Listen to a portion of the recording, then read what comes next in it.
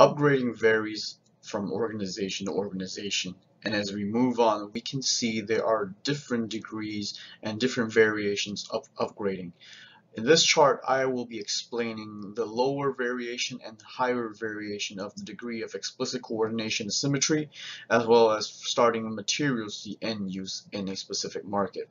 So if you look to the right, the upgrade pattern varies in different organizations, as I have mentioned, depending on their organizational vision and mission statement. And then organizations would have to alter their model to benefit them in the long run. For instance, if we look at a human resources aspect, which is my major, upgrading employees would be as simple as you know providing job rotation, job enlargement, job enrichment. We give them different things to do, we make their tasks more important, and then we enrich their job, which makes their job more fulfilling in the long run. In terms of value chain, we are identifying the potential weak spots and targeting them for upgrades. So if we look at the chart from the left to the right, if you can see in the market, we have a fixed price or a specific price that has been set in market, and then we provide it to the customers and suppliers. It's easy for them to gauge. That's why it has a lower degree of explicit coordination, less control, uh, less managing and all that stuff. The next one we look at modular. So there's a lead firm, a turnkey supplier, and then the components and material suppliers. Materials are then gathered from the turnkey supplier, and then lead firms deal directly with them, similarly to a B2B uh, corporation setting. And then we move on to the next one. I won't go into more details about it, but that these are the basic. Upgrading an organization is key for a longer and sustainable component, and we want to look into that with different modes depending on our organizational structure and the organizational goal, we want to move on differently. Next, we have this chart that shows the topology of outsourcing and offshoring strategies. After the upgrading, we can see what are the means of upgrading. Do we just do it all in the organization? Or do we do it in such a way that we can outsource and offshore our resources so that way we don't get as much clumped up. So as you can see on the top left corner, if we are outsourcing to, you know, letting our jobs go into other firms in a domestic source, it's called outsourcing.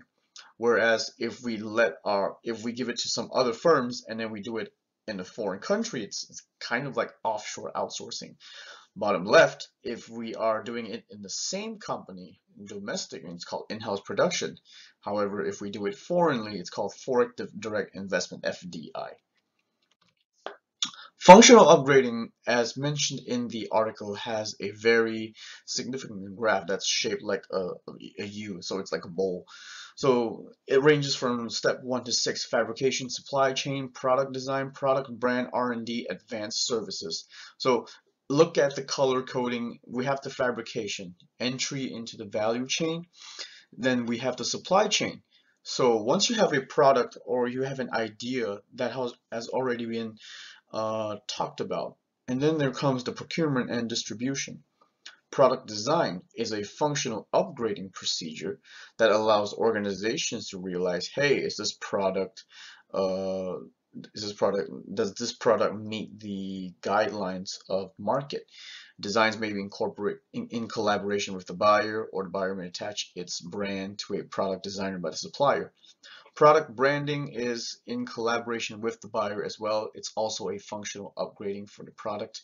Supplier can acquire post-production capabilities and can fully develop products in its own under its name. After that we move on to adding an additional layer R&D increasing unit, upgrading the production firm, depending on the country and the cost. As you can see when we look at the graph, everything's stacked up from number one to two, three, four, five. If we can have three and four, we can proceed to the five. And that's where we move into the six, which is advanced services, such as, you know, improving the IT logistics, reducing the lead time and the flexibility and increasing flexibility of supply chains, you know, lowering the cost, improving the capital is what a capitalist market would do. Uh, similarly, in this chart, you will see it's an aircraft. uh, if you look at different components, you know, Ford fuselages and all that stuff, doors and windows are made in USA, uh, center fuselage made in Italy, wing it's made in another country. So technically everything is kind of made in the world in these recent times. So what are the goals for organizations to upgrade so that the plane can be cheaply uh, or manufactured in a more affordable way that most organizations can afford while improving their lead time. So this is when we when we bring back into previous uh, topics, we can see, hey, is there R&D made? You know, is there a product fabrication, product upgrades?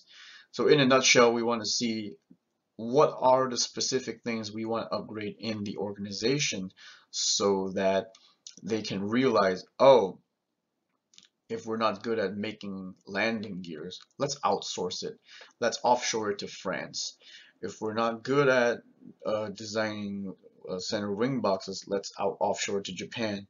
It increases the chance of being more successful in the long run while providing the value chain being a more significant in the specific organization.